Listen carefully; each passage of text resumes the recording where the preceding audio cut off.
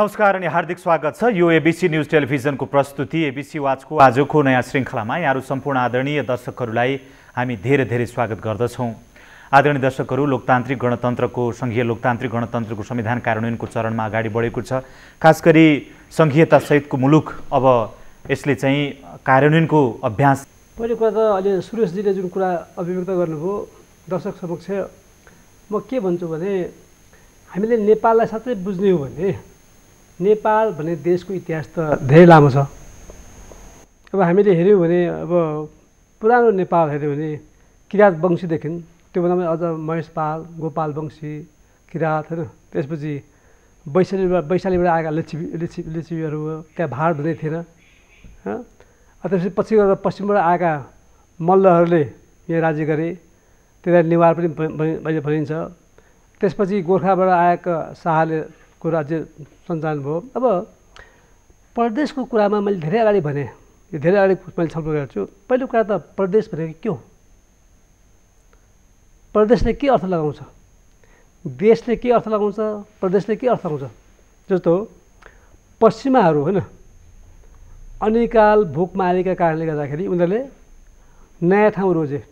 उनीहरू चाहिँ त्यति बेला पानी जहाजमा ज्यान जोखिममा राखेर यतातिर पश्चिममा होइन आदिवासीको राष्ट्र राष्ट्र अमेरिका पुगे।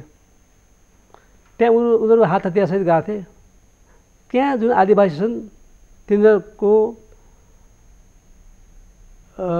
सम्पूर्ण रूपमा हत्या गरियो। ठुलो सङ्ख्यामा हत्या गरियो। त त्यो त्यो राष्ट्रलाई आज युनाइटेड स्टेट्स अफ अमेरिका भन्छ त्यो अङ्ग्रेजको चाहिँ उपनिवेश थियो। त्यति बेला त्यहाँ तेह्रवटा बेग्ला बेग्लै राज्यहरू म प्रदेश भनिरहेको छु बेग्ला बेग्ला राज्यहरूले बेलायतको उपनिवेशबाट स्वतन्त्र हुनु हुन खोजे। र तिनीहरूले स्वतन्त्रताको लागि सङ्ग्राम गरे स्वतन्त्र पनि भए। त्यसपछि अरू राज्यहरू पनि आपसमा मिलु भन्दै मिल्ने क्रममा उनीहरूले सेन्टर उनीहरूले केन्द्र खोजे। र आज उसलाई त्यसलाई के भन्छ? Union of states united states of America भन्छ। त्योभन्दा अलिक अगाडिको जेठो रा जेठो राज्य जसलाई हामी बेलायत भन्छौँ उसले के भन्छ? युनाइटेड किङडम भन्छ। ऊ एक्लै छैन। त्यति बेला थुप्रै किङडमहरूलाई एकीकृत गरेर अनि उसले के भने त्यहाँ स्वतन्त्रता दिएर अहिले जस्तो स्कटल्यान्ड होइन आयरल्यान्ड वेल्स। वेल्स अनि त्यसपछि त्यस त्यसलाई के छ? अनि इङ्ल्यान्ड भनेको थियो। त्यसको सेन्टर कहाँ भयो? लन्डनमा भयो। अब अर्को कुरा धेरै मान्छेहरूले कुरा गर्छन् सानो राष्ट्र पनि किन प्रदेशमा जानुपर्छ? जस्तो सानो भूगोल भएको राष्ट्र पश्चिममा स्विजरल्यान्ड है? त्यहाँ चारवटा भाषा बोलिन्छ। र त्यहाँ पनि प्रदेश छ। त्यसै अस्ट्रिया हाम्रोभन्दा सानो देश छ। त्यहाँ झन् तेह्रवटा प्रदेश छन्। तर उनीहरू के छ भने उनीहरू बे अलग अलग थिए। उनीहरू अलग अलग हुँदाखेरि उनीहरूको बिचमा वैमनस्ता भयो। उनीहरूको बिचमा आर्थिक कारोबार गरेर गाह्रो भयो। अनि उनीहरूले के गर्यो भने होइन यसलाई चाहिँ एउटा बेग्लै एउटा राष्ट्रको रूप दिउँ। भनेपछि उनीहरू मिलेर त्यो प्रदेशहरू त्यो त्यो राज्यहरू मिलेर उनीहरूले के अरे त्यसलाई स्टेटको रूपमा चाहिँ बनाएर अनि उनीहरूले सेन्टर खोजे। अब नेपालको कुरामा के छ भने नेपाल भनेको दक्षिण एसियाको सबैभन्दा जेठो राज्य हो।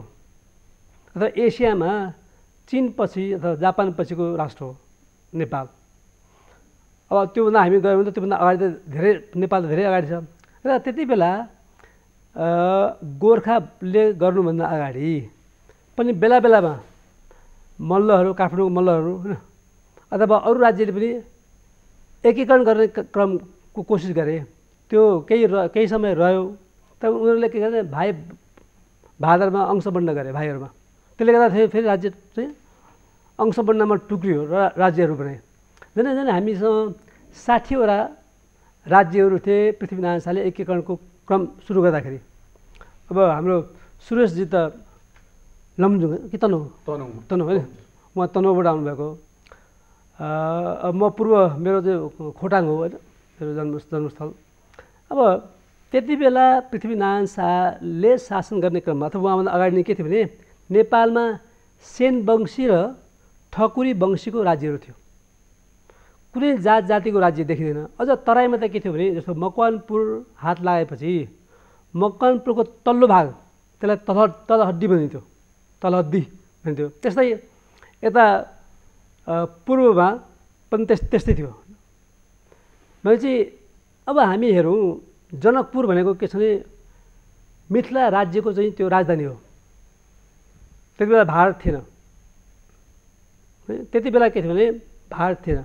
भनेपछि राजधानी जनकपुर हो भने यसको भूगोल दक्षिणमा समेतका भूभागहरू यसको भूगोल दक्षिणमा ठुलो ठुलो आकारको छ। भनेपछि अब त्यहाँ प्रदेश बनाउने क्रममा यदि हामीले अब हामीले के गर्यौँ भने प्रदेश बनाउने क्रममा हामीले अमेरिकाको कुरालाई ध्यान दिनौँ अन्तर्राष्ट्रिय कुरा कुरा गरे धेरै मानिसहरूलाई महाराष्ट्र माओवादी बाहेक अरू सहित सबैलाई चाहिँ स्विजरल्यान्ड घुमाइयो जस्तो लाग्छ मलाई होइन। युरोपहरू घुमाइयो होइन। विभिन्न देशमा घुमाइयो र त्यहाँ प्रदेशहरूको अवस्था के छ भनेर जानकारी पनि गराइयो। अनि मैले धेरै अगाडि भने नेपाल त एउटा यस्तो देश हो जहाँ धेरै राज्यहरू थिए ती राज्यलाई एक ढिका बनाएर त्यसको केन्द्र काठमाडौँ बनाएर त्यहाँ श्वेतता दिएको देश हो पृथ्वीनारायण शाहले स्वयं। अब आज हामीले सात टुक्रामा बाँड्यौँ के को आधार त न त भौगोलिक आधार छ न हिजोको त्यो आधार छ। मैले भने अनि मैले भन्थेँ यदि राज्यलाई यो राष्ट्र नेपाललाई प्रादेशिक राज राष्ट्र बनाउने हो भने पृथ्वीनारायण शाहभन्दा अगाडिका राज्यहरू थियो नि जस्तो उहाँले थियो नि त्यो थियो नि त। त्यो त निश्चित आकार थिए त्यहाँ निश्चित जन जन जन जन जनसमुदाय समुदाय थिए होइन? त्यहाँ काहीँ गुरुङहरूको बाहुल्य त काहीँ मगरहरूको बाहुल्य त थियो। तल तराईमा चाहिँ थारूको अथवा राजवंशीहरूको अवधहरूको मैथिलीको बाउ बाहुल्य त थियो नि त। बुझि तर बाइस सय चौध चौ बाइस सय चौबिस हुँदा पनि तराईमा चाहिँ बेग्लै राज्य थिएन। जो जनकपुर भनौँ अथवा हामी पूर्वको मेचीदेखि पश्चिम महाकालीसम्म हामी हेर्ने भने तल्लो भाग छ नि। चुरेभन्दा तल्लो भागमा चाहिँ त्यहाँ बेग्लै रा राजा थिएनन् त्यो के थियो भने चौदण्डीको तल्लो भाग विजयपुरको तल्लो भाग मकवानपुरको तल्लो भाग होइन। यसरी पश्चिमको चाहिँ पाल्पाको तल्लो भाग ती पहिले नै ती राज्यहरूको चाहिँ त्यो सम समतल भूगोल हो। जसलाई हामी तराई भन्छौँ। पछिल्लो क्रममा हामीले चाहिँ वर्गीकरण के गर्यौँ भने चार किसिमको भौगोलिक भौगोलिक वर- वर्गीकरण गर्यौँ। समतल भूभागलाई तराई भन्यौँ त्योभन्दा माथिलाई चुरे भन्यौँ त्योभन्दा माथिलाई महाभारत भन्यौँ त्योभन्दा माथिलाई हिमाल भन्यौँ। यसरी हामीले भौगोलिक रूपमा चार वर्ग चार क्षेत्रमा हामीले विभाजन गऱ्यौँ अब मैले भन्छु जुन बेला राज्य सम्झना भयो पछिल्लो क्रममा त्यति बेला के भने अञ्चलहरू बने। अञ्चलको सदरमुकाम कहाँ थियो? सबै प्रायः तल्लो भागमा छ। त्यो किन गर्यो त? स्कुलहरू पहिला बने कहाँ बने? विश्वविद्यालयहरू बने कहाँ बने? तराईमा बन्यो। अस्पताल बने कहाँ बने? तराई त- त्यो त्यो गरियो। तर के छ यी सबै के थियो भने सबै अञ्चलहरूको सिमाना तराईमा भारतसम्म होइन माथि हिमालसम्म थियो नि त। सबैको त थियो होइन बागमती थिएन गण्डकी थिएन पाँचवटा विकास क्षेत्रको चाहिँ थियो। पाँचवटा विकास क्षेत्र त्यो अञ्चलको कुरा विकास क्षेत्र सबै थियो। अब म सुरेशलाई के भन्छु भने कृपया तपाईँहरूले गरेको आन्दोलनको जुन बेला छ पहिला त तपाईँहरू पैँतालिस छयालिसको जनआन्दोलनमा पनि तपाईँहरू सरिक हुनुहुन्थ्यो। तपाईँको दलको नाम नेकपा माओवादी थिएन। तपाईँहरू चाहिँ महाराष्ट्र जनमोर्चाको नाममा हुनुहुन्थ्यो। होइन। संयुक्त जनमोर्चाको नाममा हुनुहुन्थ्यो। पैँतालिस छयालिसको आन्दोलन के थियो भन्दाखेरि मुलुकमा बहुदलीय प्रजातन्त्र चाहियो भनेपछि त्यही अनुसारको छ महिनाभित्र कृष्णप्रसाद भट्टराईको नेतृत्वमा एउटा संविधान बन्यो सत्तालिस सालको। त्यो सत्तालिस सालको संविधान बनाइसकेपछि राज संस्थामा एउटा चाहिँ के थियो भने दूरदृष्टि के थियो भने निर्वाचन गरेर संविधान बनाउने होइन कि? संविधान बनाइसकेपछि त्यसलाई निर्वाचन लगेर जनअनुमोदन गराउने। त्यसपछि अडचालिस सालको चाहिँ आम निर्वाचन भयो। आम निर्वाचनमा संयुक्त जनमोर्चा तेस्रो ठुलो दल भयो। नौ सिट कि एघार सिट त भयो। नौ- सिट। लिएर तेस्रो ठुलो दल भयो। अब उहाँहरूले एकाउन्न अब जस्तो के छन् त्यहाँ के भयो भने कङ्ग्रेसको बहुमत थियो। उन्चास सालको मङ्सिरतिर हो कि पुस पुस माघमा हो गिरिजाप्रसाद कोइरालाले आफ्नो मन्त्री परिषदमा हेरफेर गर्ने काम गरे। हेरफेर गर्दाखेरि त्यहाँ उनीहरूको बिचमा चिरा पऱ्यो छत्तिस र चौहत्तरै भनेर। र त्यसपछि उनले मध्यावधि जानु पऱ्यो गिरिजाप्रसाद कोइराला मध्यावधि गए। मध्यावधि जाने क्रममा त्यो त बाहुन साल हो त्यो त्यो एकाउन्न सालको हो। त्यसपछि उहाँले के भन्नु भने संसदीय परिपाटी भनेको त सम अगाडि चाहिँ खसीको टाउको देखाएर पछाडि चाहिँ के अरे चाहिँ कुकुरको चाहिँ मासु बेच्ने पो रहेछ थलो रहेछ त। यसबाट जनता कसरी चाहिँ अधिकार प्राप्त हुन्छन् भनेर उहाँले जनयुद्ध सुरु गर्नुभयो अब म उहाँलाई एउटा प्रश्न राख प्रश्न सोध्न प्रश्न राख्न चाहन्छु। होइन म पनि राख्छु। नेकपा माओवादी तपाईँले होइन तपाईँको सिङ्गो पार्ट दललाई। तपाईँहरूलाई के आधार थियो? त्यति बेला चाहिँ जनयुद्धमा जाने सशस्त्र जनयुद्धमा जाने आधार के थियो? जबकि त्यो संविधानले तपाईँलाई सबै कुरा सबै अधिकार दिएको थियो। तपाईँले मायाको संहिताको कुरा पनि तपाईँले त्यहाँ राख्न सक्नुहुन्थ्यो बन्दुक बोकेर बिस हजार मान्छे मार्नु पर्दैन थियो। होइन? एकछिन एकछिन तपाईँ पाउनुहुन्छ। त्यसले गर्दाखेरि त्यसले गर्दा म भन्छु आज तपाईँहरू कहाँ आउनुभयो त? अहिले उहाँ भन्दै हुनुहुन्थ्यो कि यो प्रदेशप्रति उहाँलाई त्यति चित्त बुझाएको छैन। यो संविधानप्रति त्यति चित्त बुझाएको छैन किन उहाँले खोजेको प्रदेश प्र- प्रादेशिक संरचना फरक थियो। त्यहाँ त अल्पसङ्ख्य अल्पसङ्ख्यक उत्पीडित जातिहरूलाई पो सम्बोधन गर्नुपर्छ त अहिले होइन? त्यो कहाँ गऱ्यो त? उहाँले माग गरेको कुरा त्यो हो। जस्तो एकैछिन तपाईँलाई जस्तो अहिले अहिले के देखिन्छ भने हामीले समाजशास्त्रको रूपमा हेर्दाखेरि हामीसँग एक सय छब्बिस विभिन्न जात जातिको समुदाय देखिन्छ। होइन त्यसमा पछि कति आए? र म अब कि त हामी पृथ्वीनारायण शाहभन्दा अगाडि पुग्नु पऱ्यो त्यो पुग्दा पनि आज दुई नम्बर प्रदेशमा मधेसी पनि हुनन् मैले दुईवटा कुरा मैले भनेको छु। मैले स्वीकार्दै स्वीकार्दिनँ एउटा कुरा भूगोलमा मधेस कसैले एक कसैले पनि भित्रिआएको छैन। त्यहाँ मधेस भन्ने राज्य थिएन। र अर्को कुरा मधेसे भन्ने जात नेपालमा थिँदै थिएन। त्यहाँ यो दुईवटा कुरा म कहिले पनि स्वीकार्दिनँ। मैले जहिले पनि भनेको छु। तर म के सम्मान स्वीकार गर्छु। म के सम्मान गर्छु भने त्यहाँ मैथिलीहरू छन् त्यहाँ अवधिहरू छन् त्यहाँ भोजपुरियाहरू छन् त्यहाँ थारूहरू छन् उनीहरूको सभ्यता छ उनीहरूको संस्कृति छ उनीहरूको चाहिँ आदिवासीको पहिचान छ। भने तपाईँ एउटा यस्तो निष्कर्षमा पुग्नुहुन्छ कि भने सङ्घीयता नेपालको लागि यो आवश्यकता होइन यो पहिले नै युनियन भएको देश हो यसलाई चाहिँ अलग अलग गर्ने काम गलत हो भन्ने तपाईँको निष्कर्ष हो यसमा चाहिँ। यो मेरो निष्कर्ष होइन यो विश्वको निष्कर्ष हो कि राष्ट्र एक भएपछि टुक्रिँदैन। जब कहाँ टुक्रियो राष्ट्र? टुक्रा टुक्रा थियो भने एक हुन्छ। कहाँ टुक्रियो राष्ट्र? युगोस्लाभियामा टिटोले होइन एउटा एउटा राष्ट्र बनायो। त्यो राष्ट्र आज टुक्रेर चार पाँचवटा राष्ट्र बनायो। नेपालको अवस्था त्यो पनि होइन। त्यो टिटोले चाहिँ एक सूत्रमा बाँध्यो त टिटोको अन्त्यपछि त्यो चाहिँ टुक्रियो। अब सुरेश आलमगरजीका जाउँ? जस्तो अब यो उहाँले पनि तपाईँसँग केही प्रश्नहरू राख्नु भएको छ त्यसको जवाब अब अर्को कुरा भने चाहिँ जस्तो तपाईँले नै भन्नुभयो नि हामीले जुन मर्म अनुसार संहिताको माग गरिरहेका छौँ त्यो प्राप्त भएको छैन। यो खालि भौगोलिक विभाजन मात्रै भयो भनेर भन्नुभयो नि। हजुर। भरत बसन्तले पनि यसो उसो त्यो कुरा जोड्नुभयो भने चाहिँ भौगोलिक विभाजन मात्रै थियो भन्दा त्यस अगाडि नै पाँचवटा विकास क्षेत्रमा विभाजित भएको थियो। उपलब्धि के भयो त खासमा त्यसो भए? त्यो यही हिसाबले पाँचवटा विकास क्षेत्रमा अहिलेको भन्दा अलिक बढी अधिकार दिएर यत्रो ठुलो युद्ध दुनियाँ लफडा यो गर्नुपर्ने कारणै थिएन त उसरी भन्ने हो। करिब करिब भौगोलिक हिसाबले खालि मन्त्रीमण्डल ठुलो हुने भयो त्यही हो। भौगोलिक हिसाबले जुन प्रकार विभाजन गरिएको छ त्यो हेर्दाखेरि चाहिँ त्यसो पनि भन्न सकिन्छ। तर कुरो के हो भने नि सङ्घीयताको बारेमा फेरि पनि धेरै मान्छेहरूले के बुझेको छन् भने सङ्घीयता चाहिँ एउटा कमिङ टुगेदर पनि हो होल्डिङ टुगेदर पनि हो। अलग अलग छन् भने यहाँ आउन पनि सक्छन्। कमिङ टुगेदर सँगसँगै छ भने टुक्रिन सक्छ। हो त्यसलाई टुक्रिन दिनबाट रोक्नका लागि पनि फेडरेसन चाहियो सङ्घीयता चाहियो त्यसरी होल्डिङ टुगेदर हो। धान्न नसक्ने नै भएको थियो र हाम्रो त्यति ठुलो देश भएको थियो यो। होइन यस यस- यस- यो संविधानको सन्दर्भमा चाहिँ देश ठुलो र सानोको मतलब हुँदैन। चिन त्यही धेरै ठुलो देश छ उसले आफ्नो संहिता भनेको छैन। यद्यपि त्यहाँ अटोनोमी छ। तर पनि अबको। पन्ध्र वर्षमा ऊ। विश्वको ठुलो अर्थतन्त्र बन्दैछ। अर्थतन्त्र बन्दैछ अझै। कस्तो हुनसक्छ भने अर्थतन्त्र अगाडि बढ्नलाई। मेरा प्रिय मित्र भरत बस्नेले भनिसक्नुभयो नेपालभन्दा धेरै सानो देश अस्ट- अस्ट्रिया धेरै सानो देश स्विजरल्यान्डमा चाहिँ सङ्घीयता छ।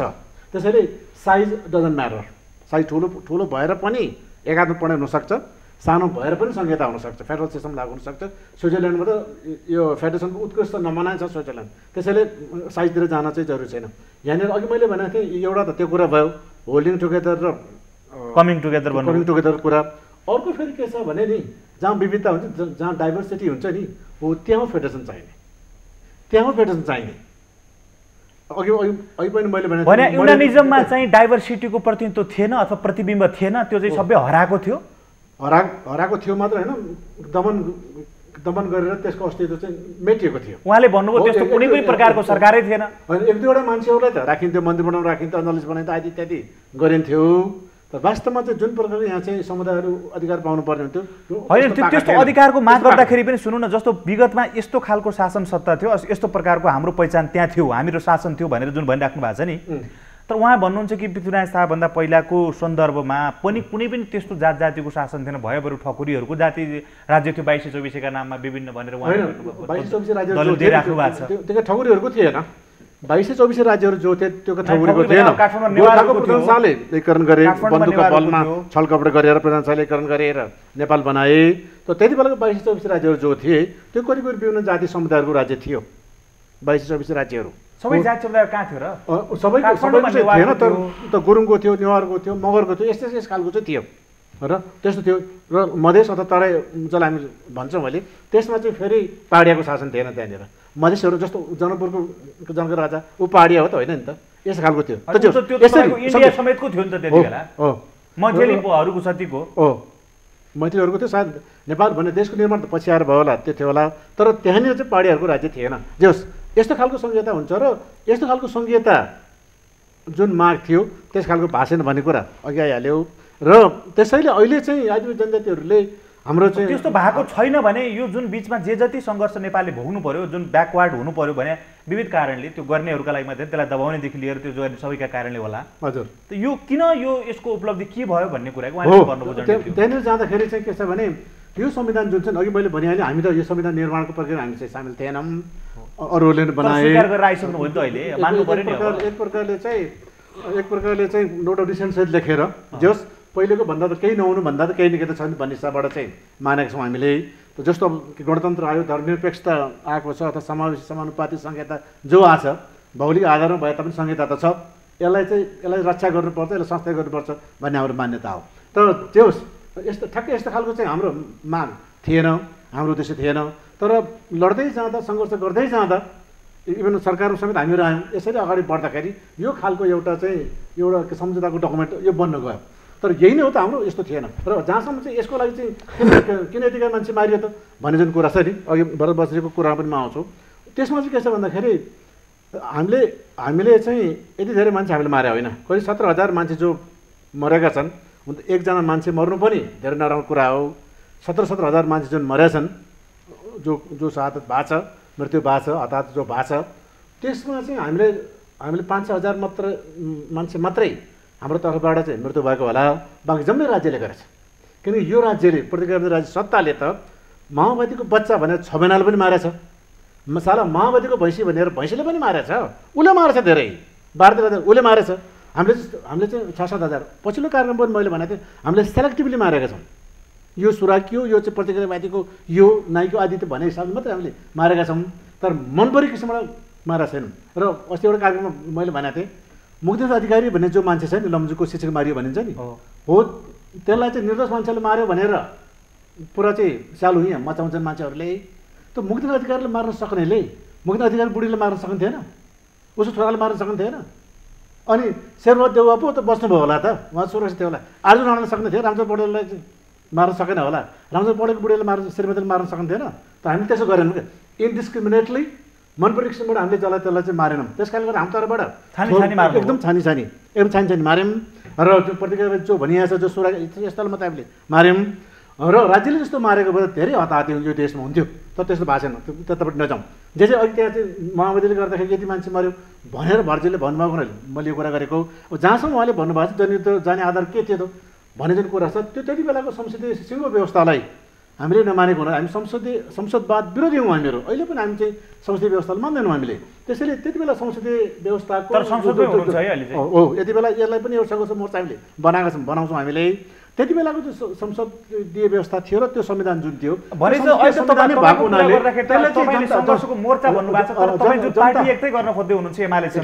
जनताको मागहरू सम्बोधन नभएको हुनाले अझै लडाइँमा जानुपर्ने थियो र जनयुद्धमा जानुपर्ने आधार जानुपर्ने बाध्यताको कारण त्यो थियो। त्यस कारणले गर्दाखेरि चाहिँ हामी जनयुद्धमा गयौँ तर अगाडि बढ्दै जाँदाखेरि त्यति बेलाका शासकहरूले ज्ञानेन्द्र ज्ञानेन्द्र अथवा चाहिँ संसदीय दलहरूले सहमति गर्नु पऱ्यो वार्तामा आउनु पऱ्यो भनेर भने हुनाले हामी सहमति आएको त्यस्तै संसदीय दलसँग पार्टी एकता गरेर अब त्यसमा त्यसमा चाहिँ मिसिन खोज्दै हुनुहुन्छ भने अहिले सङ्ख्यात्मक दृष्टिकोणले त सत्तरी प्रतिशत तिस प्रतिशत भएको छ तपाईँ हजुर। सत्तरी प्रतिशतमा तिस प्रतिशत घोलिनु जाँदा त तपाईँहरूको त बाहिर रूप त पुरै होइन। जस्तो तपाईँको चाहिँ के भने पुरै संसदीय दल जसलाई भनिराख्नु भएको थियो त्यही हुँदै हुन खोज्दैछ आखिरमा गएर। त्यो हो त्यसैले हाम्रो त्यहाँनिर छलफल व्यवस्था चलि नै रहेछ पार्टी एकता गर्दाखेरि अब बरु चाहिँ पार्टी एकता गर्दाखेरि त सिद्धान्त विचार केही पनि चाहिँदैन। नेताको हुने भने खालि मात्रले मात्रै पुग्छ होला। तर कम्युनिस्टको बिचमा एकता गर्दाखेरि चाहिँ सिद्धान्त विचार पनि चाहिन्छ पोलिटिकल लाइन चाहिन्छ। त्यो बारेमा छलफल चल्दैछ त्यो छलफल चलिरहेछ। त्यो एकता हुँदाखेरि हामी चाहिँ माओवादीको एमालेकरण हुने पनि होइन। सायद एमालेको माओवादीकरण पनि नहोला र दुईवटा मिलेर नयाँ प्रकारको पार्टी बन्ला। निश्चित रूपमा जुन पार्टी बन्छ सत्य पुरुष अहिलेको एमाले भए तापनि तिस प्रतिशत अथवा चालिस प्रतिशत माओवादी भए तापनि त्यो नयाँ पार्टी बन्छ त्यो बिल्कुल संसदवादी पार्टी। परम्परा परम्परागत प्रकार वेस्टमिन्स्टर सिस्टमको संसदीय पार्टी जो हुन्छ त्यो चाहिँ बन्दैन। हामी त समाजवाद हुँदै एउटा एउटा बाँकी क्रान्ति पुरा गर्दै समाज हुँदै साम्यवादसम्म जाने लक्ष्य लिएको पार्टी हुन्छ त्यस्तो पार्टी बन्छ। अब नेपाली कङ्ग्रेस जस्तो अथवा रापरपा जस्तो त्यस्तो विशुद्ध संसदवादी पार्टी त्यो बन्ने छैन। तर तपाईँहरूमा फरक त के छ र आज गर्ने एउटै कुरा भन्नलाई जे भने पनि? होइन सैद्धान्तिक वैचारिक हिसाबबाट भिन्नता छ व्यावहारिक हिसाबबाट चाहिँ धेरै सैद्धान्तिक हिसाब किताबले यो मुलुक र जनताका लागि के अर्थ राख्छ? तपाईँहरूलाई लाग्ला अब तपाईँहरूलाई त्यो त के त्यो के छ भने नि सिद्धान्त विचारलाई मान्छेले बुझ्दैनन् र धेरै मिनिमाइज त्यसले मुलुकको जीवनमा के असर गर्यो भन्ने कुराको अर्थ राख्ने हो। त यहाँ त। हो त्यो सिद्धान्त विचार भएको हुनाले गणतन्त्र आयो देशमा। होइन भने त यो देशको मान्छे यो देशको जनता यो देशको जनता ले राजतन्त्रलाई विष्णु भगवान् अवतार माने होइन। राजतन्त्र राजाले टेकेको जमिनको धुलो टेकामा लगाउने जनता होइन नि। हामीले ल्यायौँ त गणतन्त्र हामीले दियौँ त। हामीले गणतन्त्रको कुरा गर्दाखेरि कुनैले पहरा फर्न तम्साने अथवा चाहिँ के अरे बैलगाडा चढेर अमेरिका जान खोज्ने भन्नेहरू पनि थियो त। तर होइन नि त। हाम्रै हाम्रो विचार हामीसँग त्यो विचार थियो। त्यो त्यो सोच थियो त्यो त्यो चिन्तन थियो हामीसँग। त्यो राजनीति थियो त्यस कारणले गर्दा गणतन्त्र आयो। त्यसैले विचारको धेरै महत्त्व हुन्छ भने भारत बस्ने चाहिँ अब जस्तो यो जुन सङ्घीयता प्राप्त भएको छ यसले चाहिँ अब आफ्नो आफ्नो तपाईँले उहाँले भने जस्तो यस अगाडि एकात्मक शासन प्रणालीमा अरू भाषा संस्कृति जाति जनजातिमाथि होइन दमन गरेर शक्ति प्रयोग गरेर राज्यको शक्ति प्रयोग गरेर कुल्चिएको जुन थियो त त्यसलाई चाहिँ अब फेरि चाहिँ ब्याकअप गर्ने अथवा त्यसलाई चाहिँ आफ्नो आफ्नो संस्कृति अनुसारको काम गर्ने आफ्नो आफ्नो अधिकारमा रमाउने भन्ने जुन खालको कुरा भएको छ त्यो त्यो त सुरु पनि भइसक्यो जस्तो प्रदेश दुईको लुगा लगाउने र तपाईँको भाषाको कुरामा भइसकेको छ हुन थाल्दैछ। त यसमा तपाईँको आपत्ति किन त? अब यो त ठिकै कुरा रहेछ नि त वास्तवमा सबै। अब दमनै गरिया रहेछ। अहिले तपाईँसँग छोटो समय छ दर्शकहरूसँग हामी कुरा सबभन्दा गर्ने पहिला म प्रदेश दुईको भाषा र उसको बारेमा बाटो जाउँ म- के- अभ्यास गर्न खोज्यो त्यो चाहिँ? म मित्र सुरेशजीसँग लामो कुरा गर्न निजी लामो कुरा गरौँला। अरू- बेला गर्नु गरौँ ल पहिलो कुरा के छ भने म आज सुरेशजीले एउटा कुरा बुझ्नुपर्छ। तपाईँहरूको माओवाद पार्टीको नेतृत्व कसले गर्यो? मैले त्यहाँ त के देख्छु भने विशुद्ध रूपमा प्रचण्ड भनेको को हुन् पुष्पकमल दाल भन्ने मान्छे हो।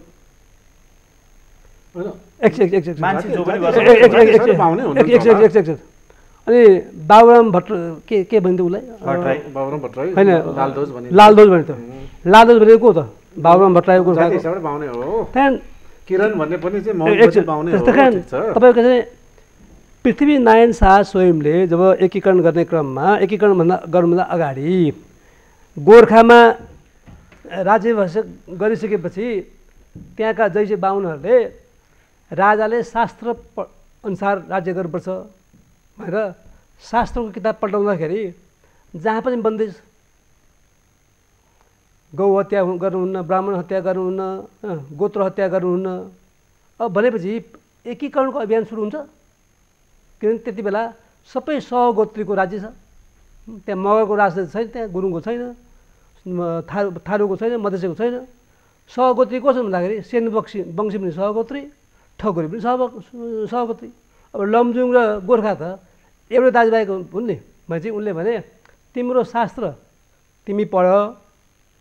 म चाहिँ चले भाइ विस्तार गर्नु। म त्यसलाई तपाईँ जे भन्नुहुन्छ म मेरो भूमिका भनेको दक्षिणपट्टिबाट आएको जुन शक्ति छ त्यो शक्तिसँग हामीले सामना पनि गर्न सक्- सक्नुपर्छ। त्यस कारण हामीले जोड्ने काम गर्नुपर्छ। भनेपछि त पहिलो त के अरे मकवानपुर गढी मुकुन्द सेन त त्यहाँ फेरि ससुराली पछि होइन पछि त त्यहाँ कुन चाहिँ गुरुङ मगर राई लिम्बू ठकुरीको चाहिँ के अरे को चाहिँ राज्यमा आक्रमण भएको छ त? त के छ भने तपाईँको त्यति बेलै भइएको छ हो। कि यो सबै जातको साझा फुलबारी भइन्छ होइन? पछि बाहुनहरूले त्यो वर्ग र चार ब चार चार ब के? चार जात छत्तिस वर्ण भएछन् उसलाई त्यो थाहा छैन। अनि त्यस त्यसपछि जाँदै गर्दा के देख्यो भने धेरै विभिन्न जात जातिको चाहिँ बसोबास गरेको देखेपछि अनि मेरा साना दुःखले होइन यो त सबै जातको साझा फुलबारी रहेछ भनेछ। है? सबै जातको साझा फुलबारी रहेछ भनेछ। त्यहाँ चाहिँ वर्णअनुसार छ र अर्को कुरा एकीकरणको क्रममा सबभन्दा पहिला कसलाई राखिएको छ है अघिल्लो पङ्क्तिमा खस क्षेत्रीलाई राखेको छ त्यसपछि त्यहाँ खस छेत्री होइन मगर गुरुङ ठकुरीलाई पछि राखेको छ त्यसपछि ब्राह्मणलाई। हो त्यो ठकुरीलाई के भन्यो भने ठकुरी भनेको चाहिँ सिंह हो हँ, यसले दगा गर्छ धोका दिन्छ। किन उता उसलाई त राज्य चाहिन्छ नि त। भनेपछि अब विराज बखती भनेको त उहाँको पूर्वज हो। पृथ्वीनारायण शाहले पहिलोचोटि काजी दिने क्रममा आफूले छा मनले मनले चाहेको काजी विराज बखती हो। तर त्यहाँ बुझ्दाखेरि सबैले के भने होइन विराज बखतीभन्दा का कालु पाँडे भए जाति भनेपछि कालु पाँडेलाई कजाइदिएको हुन्छ। र अहिले जुन तपाईँको दुई नम्बर प्रदेशको कुरा आयो नि पहिला दुई नम्बरको।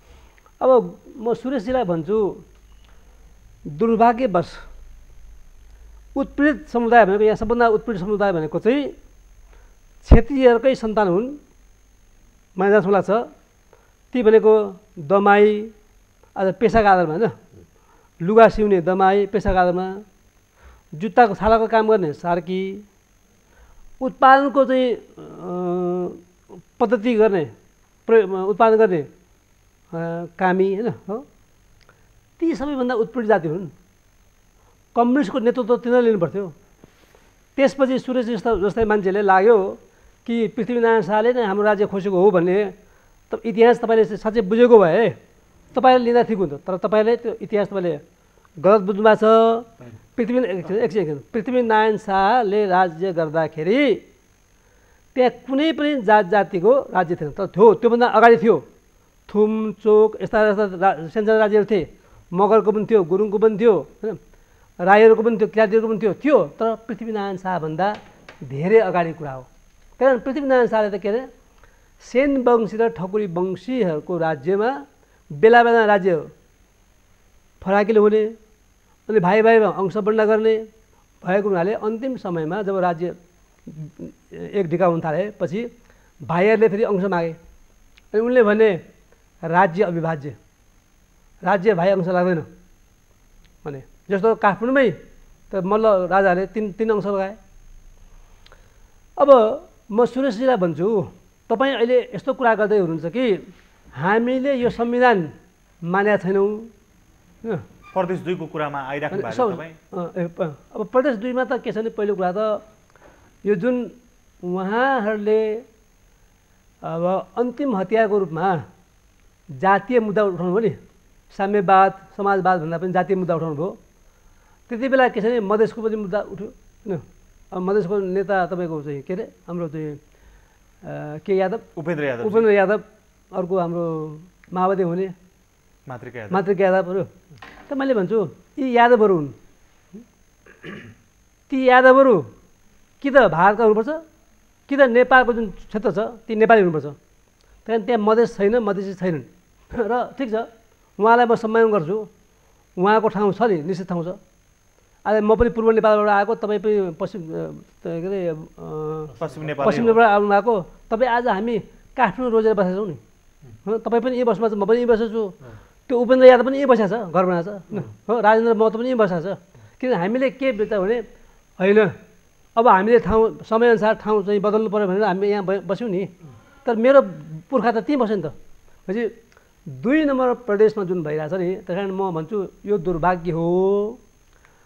कृपया तपाईँ सुरेशजी र तपाईँका साथीहरू नेताहरूलाई भन्नु ती सबै नेताहरू फेरि तपाईँले एकल जातीय भनेको छ ब्राह्मणदेखि कहीँ कोही छैन बाहुनदेखि कोही छैन। तपाईँ आज आज हेर्नुहोस् प्रशासन संयन्त्रमा हेर्नुहोस् होइन? प्रशासनमा त कुरै छैन। तपाईँको आज तपाईँको ने तपाईँको नेता हेर्नुहोस् एमालेको नेता हेर्नुहोस् क्रान्तिकारीको नेता हेर्नुहोस् त तपाईँले क्रान्ति जातीय जातीय चाहिँ के अरे उत्पीडनको विद्रोहमा गर्नुभयो। अनि टाउकोमा कसले राख्नुभयो त?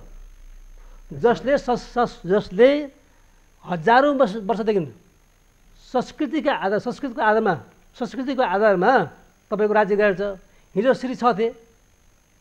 श्री तिन थिए। हामी त श्री होइन अरू त श्री तिन श्री पाँच श्री छ भनेको पण्डितहरू उनीहरूको इसारामा राज्य चल्थ्यो। र आज भने त आज प्रत्यक्ष रूपमा चाहिँ के अरे उनीहरूले शासन गर्दैछन्। अनि उनीहरू के का- के का नाममा हामी त क्रान्तिकारी हौँ हामी त साम्यवादी हौँ। पण्डितका छोरा चाहिँ साम्यवादी साम्यवादी हुने। अनि एउटा पण्डितको छोरो राजाको चाहिँ निरङ्कुशतालाई धान्ने अनि एउटा एउटा पण्डित चाहिँ तपाईँको क्रान्ति धान्ने। समाजवाद धान्ने एउटा पण्डित के अरे क्रान्ति धान्ने त्यस कारण त्यस कारण म भन्छु एकदम म सि- म सिद्ध संक्षिप्त हुनु, अब म सिद्ध हुनु त्यही कारण दुई नम्बर प्रदेशमा जुन ज्यादती भएको छ नि हो म हिजो साँच्चै अस्तिको दिन म बौला छु। किनभने ठिक छ त्यहाँको मानिसहरूले आफ्नो भाषा प्रयोग गर्नु ठिक छ। नेपाल सरकारले खटाएको मर्यादा पालकको होइन दौरा सुरुवाल फुकालिदिने। त्यो प्रदेश नेपालभित्र हो कि नेपाल बाहिर हो? यसको जवाब चाहिँ विशेष गरेर नेकपा माओवादी नेकपा एमाले उनीहरू लगाउनु पर्छ भनेको ड्रेस ड्रेस पनि त नेपालीकै होला नि त फेरि अनि। त्यो त्यो पनि त बुझ्नु पर्यो। के? तपाईँको नेपालीको ड्रेस चाहिँ तपाईँको कोट कोट र प्यान्ट नेपालीको ड्रेस हो? टाई र टाई कोट र प्यान्ट होइन भने किन लाउनु भएको थियो बाहिरको भन्छ त्यस्तो कुरा होइन। नेपाली सबै आउँछु। ड्रेस म तपाईँसँग आउँछु। तपाईँ आफ्नो टुङ्ग्याउनुहोस् म तपाईँसँग त्यही कारण अब यदि यदि नेपालीको ड्रेस लाउने त्यहाँको मिथिला प्रदेशको ड्रेस लाउनु पऱ्यो नि त। तर त्यो पनि त तर- तपाईँको एउटा कुरा सुरेशजी के अरे सुरेशजी एउटा कुरा के अरे स्थानीय वेशभूषामा। होइन।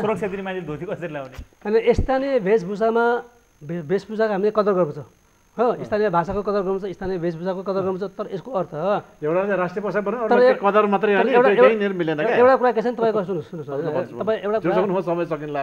संसारभरि नै भाषा त राष्ट्रको हुन्छ नि त। बाहिर सम्पर्क भाषा हुन्- को हुन्छ होइन? तपाईँको हामी युएनमा गयौँ भने हामीलाई नेपाली बोल्ने छुट छ क्या अङ्ग्रेजी बोल्नु पर्दैन। त्यहाँ ट्रान्सलेटरले अङ्ग्रेजी बोल्छ। हाम्रो मान्छे तर नेपालीले बोल्न पाइँदैन छैन नेपाली पर्दैन। पर्दैन नेपाली अधिकार छ। हो। र ठिक छ अब यो भने तपाईँले जे दुई प्रदेशले अभ्यास गर्न खोज्दैछ यो दुर्भाग्य हो भन्ने तपाईँको निष्कर्ष रह्यो यो? अहिले अब। अन्तिममा सुरेशजी समय सकिया छ हामीसँग। यो जुन सङ्घीयता आरम्भ भइराखेको छ अब नयाँ सरकार पनि सङ्घीयता अन्तर्गतका प्रदेश सरकारहरू पनि अब बन्छन्। यसको अब भविष्य कस्तो देख्नु भएको छ होइन? कसरी अगाडि बढ्छ तपाईँको विचारमा? भविष्य भन्नु? अच्छा योभन्दा योभन्दा अगाडि उहाँले भन्नुभएको। कुनै पनि पार्टीको अथवा आन्दोलन कुनै पनि पार्टी अथवा संस्थाको नेतृत्व भनेको चाहिँ फल्ना जातिको हुनुपर्छ भनेर पनि हुँदैन। कुनै व्यक्तिले चाहेर पनि हुँदैन। आकस्मिकता र आवश्यकताको संयोग हो नेतृत्व भएको सङ्घर्ष सङ्घर्षले आन्दोलनले जन्माउँछ नेतृत्व। त्यसले गर्दाखेरि चाहिँ हो उहाँले भन्नुभयो जस्तो माओवादी पार्टी माओवादी जस्तो क्रान्तिकारी पार्टीको नेतृत्वमा दलित भइदिएको भए अथवा आदिवासी जनजाति भइदिएको भए अथवा महिला भइदिएको भए। सुनमा सुगन्धै हुन्थ्यो। तर यसको अर्थ चाहिँ फेरि अब प्रचण्डहरू बाहुन हुँदैमा बेठेको हुन्छ। अथवा बाबुराम भट्टराई हुँदैमा बेठेको हुन्छ भन्ने चाहिँ होइन। किनभने चिनको पनि क्रान्तिको नेतृत्व गरू माओवादी हान जातिको हुनुहुन्थ्यो। हान जाति जसलाई अङ्करवादी भन्नुभएको थियो। रुसको पनि क्रान्तिको नेतृत्व लेनिनले गर्नुभएको थियो जुन चाहिँ रुसी जातिको हुनुहुन्थ्यो ग्रेट रसियनको। र रुसी जातिले उहाँले उत्पीडक जाति भन्नुभएको छ। यस कारण हुन्छ मात्र आवश्यकता के हुन्छ भने उनले आफूलाई सर्वहाराकरण गर्नुपर्छ। क्रान्तिकारी सिद्धान्त प्रति चाहिँ उसले प्रतिबद्ध हुनुपर्ने हुन्छ जुन जातिको भए पनि हुन्छ भन्ने चाहिँ हो। यद्यपि उहाँले भनेको कुरामा अलिकति यथार्थ छ त्यो- बारेमा त्यो भयो। र अघि तपाईँले भन्नुभएको कुरोमा चाहिँ के हो त भन्दाखेरि यति बेला सङ्गीता जो आएको छ जे जस्तो आएको छ यो चाहिँ अघि मैले भने something is better than nothing पहिलाको भन्दा त धेरै राम्रै छ यो चाहिँ प्रगतिशील नै छ यो त उन्नत नै छ। त्यस कारणले यसलाई हामीले चाहिँ के त भन्दाखेरि स्वागत गरेका छौँ मानेका छौँ। तर यहीँ नै यहीँ नै यहीँ नै हामी चाहिँ रोकिनुपर्छ पुग्यो भन्ने चाहिँ छैन। हामी अझै अगाडि बढ्नुपर्छ। र त्यो भनेको चाहिँ नेपाल विविधताको देश हो भन्ने मान्यतालाई चाहिँ भन्ने यथार्थलाई मान्दै एउटा त्यो विविधतालाई सम्बोधन गर्ने खालको चाहिँ सङ्गीततिर हामी जानुपर्ने हुन्छ। त्यो भने उत्पीडित जातिहरूको पहिचान। किनकि उत्पीडित जातिहरूको चाहिँ सब इतिहास भाषा संस्कृति सबै नष्ट भएको छ। त्यसलाई चाहिँ सम्बोधन गर्नुपर्ने हुन्छ। त्योतर्फ जानुपर्ने हुन्छ। त्यो दिशातर्फ जान्छ भन्ने अपेक्षा हामीलाई छ। यदि गएन भने फेरि एउटा ठुलो सङ्घर्ष हुन्छ जुन देशको लागि अर्को सङ्घर्ष। दुर्भाग्यपूर्ण हुन्छ। र मधेसीको बारेमा जो उनीहरूले गरेका छन् हिन्दी भाषा बाहेक बाँकी अरू कुरोलाई चाहिँ मैले फेरि सम्मानै गर्छु स्वागतै गर्छु। त्यो दुर्भाग्यपूर्ण होइन। त्यसलाई दुर्भाग्यपूर्ण भन्नु चाहिँ भएन। बर्जेल जो भन्दै हुन्छ उहाँले त्यसलाई चाहिँ पुनर्विचार गर्नुपर्छ सच्याउनुपर्छ। होइन भने मधेसी मात्र जो पाहाडिया राज्य सत्ताले पाहाड पाहाडी अङ्कारवादी राज्य सत्ताले जुन दमन गर्दै आएको छ त्यसको चाहिँ निरन्तरता हुन्छ। त्यो फेरि दुर्भाग्यपूर्ण हुन्छ। हस् हाम्रो कार्यक्रममा सहभागिता जनाउनु भयो यहाँ दुवैजनालाई समय र संवादका लागि धेरै धेरै धन्यवाद छ होस् यहाँलाई पनि धन्यवाद। धन्यवाद। हस् साधारण दर्शकहरू हामीले कुराकानी गऱ्यौँ। नेकपा माओवादी केन्द्रका नेता सुरेश आले मगर र नागरिक समाजका एकजना अगुवा भरत बस्नेतसँग खास गरी सङ्घीयता जुन आरम्भ भएको छ प्रक्रियामा अगाडि बढेको छ नयाँ सरकारहरू प्रदेशका र केन्द्रको सरकार बन्ने चरण पनि अब केही दिनमा आरम्भ हुनेछ। र यसले अब प्रदेशहरूले जुन कामहरूको थालनी गर्न खोजेका छन् यसको भविष्य र सङ्घीयता नेपालको आवश्यकता लगायत सन्दर्भ केन्द्रित गरेर कुराकानी गऱ्यौँ। भोलि नयाँ विषय र पात्रहरूका साथ यो कार्यक्रमको अर्को श्रृङ्खला लिएर हामी फेरि उपस्थित हुनेछौँ। आजलाई यो कार्यक्रमबाट हामी सबैलाई बिदा दिनुहोस्। नमस्ते।